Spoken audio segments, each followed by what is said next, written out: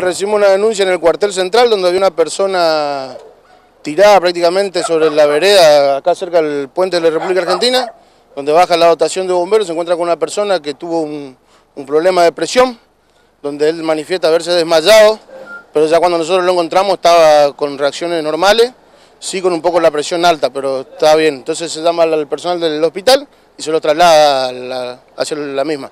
Esta persona venía caminando normalmente. Exactamente, estaba caminando y fue cuando se, él mismo cuenta que se le empezó a agarrar mareo y se cae bueno sobre la vereda ahí. Estaba sobre la vereda.